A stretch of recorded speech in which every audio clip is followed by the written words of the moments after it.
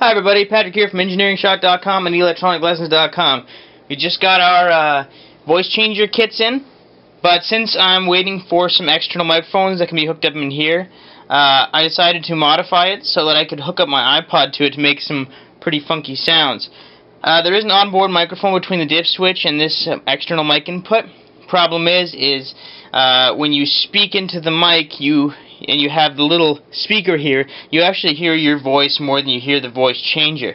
Now you've got several onboard options, but what I decided to do was uh, was to hook up my uh, my iPod and play some songs for you. So I'll give you an example right now, and then we'll mess with it.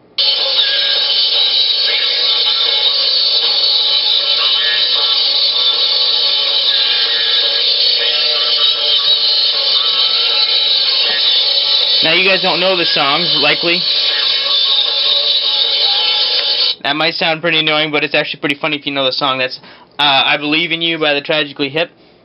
Uh, what I'm going to do is I'll play Layla, and I'll start playing with some of the dip switch settings.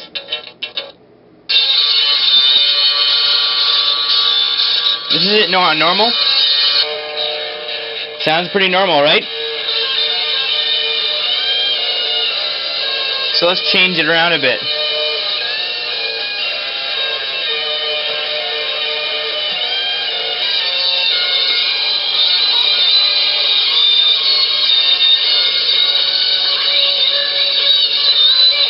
Pretty cool, huh?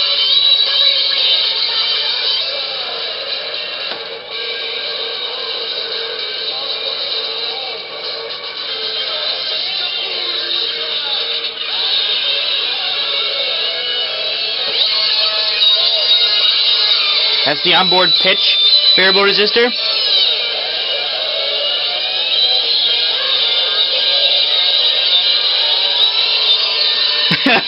My girlfriend actually had to leave the room because it it sounds awful. I mean, it sounds awesome, but the high pitched sound she couldn't deal with it. She had to leave. So what you can actually do is is uh, hook this up to an audio an extra and there is an audio amplifier on board featuring the LM386. Uh, but what you could do is actually hook this up, the output right here, to uh, to a bigger audio amplifier and really make this loud and crazy. And people will be like, "What the heck are you doing with that song, man? It's a great song." But uh, I mean, and what you could actually do is you could probably, um, when you have the external microphones, we'll be selling with the external microphones, you you so you'll be able to really hear yourself through this microphone. So many different options on the board. Um, which I'll get to in the assembly video because this, we also have this as a kit and fully built. Uh, it will be listed on eBay through electroniclessons.com and through, on uh, engineeringshock.com. When the time comes when I actually put it up for sale, when we have the external microphones, I'll put a link on this video and I'll be making an assembly video for those of you who want to put it together as a kit.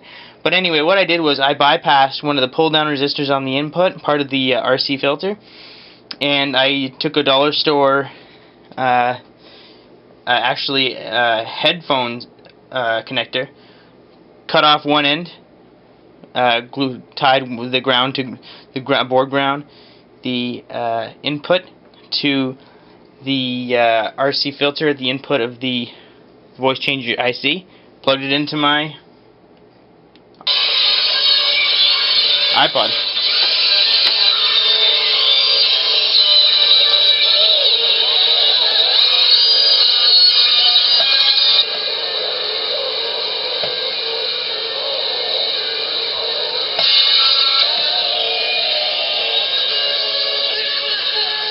So that's it in pretty much normal mode.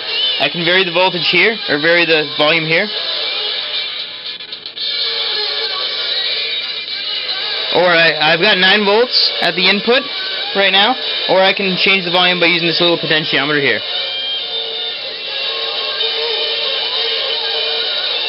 So, there's really a lot more to show, but I wanted to give you a demo today.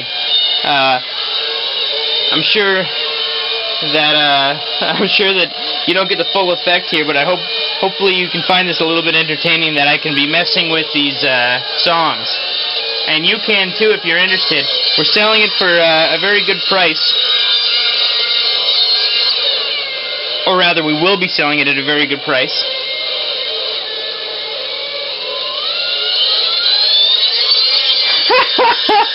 anyway, uh, a really great demonstration. My next video will have a, a better demonstration that talks about the robot voice option and all of the different onboard dip switch options.